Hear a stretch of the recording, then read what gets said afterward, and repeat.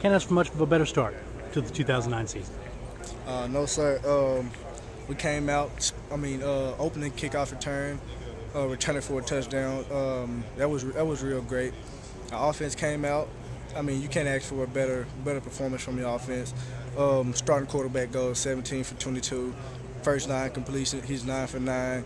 Um, receivers have no drops. As an offense, you can't ask for anything better. The difference in, in game one, you know, last year, Western Illinois, game one this year, I realize in the playbook, you, I mean, you've got a few more things down. Talk about the year, the difference that the year's made. Um, just the work we the work we put in to get to where we're at now. Um, we, we all came in through thick and thin and grinded hard as we could, and it's just paying off. You know, it showed the first game how hard we worked all ever since last last season after beating LSU. Coach Petrino, you talk about the work you put in. Coach Petrino talk about one of the big things that you've really improved on is, is regard to strength. Talk about that, how that helps you in a game to game. Look, you got your bye week. You got to play 11 straight weeks after this.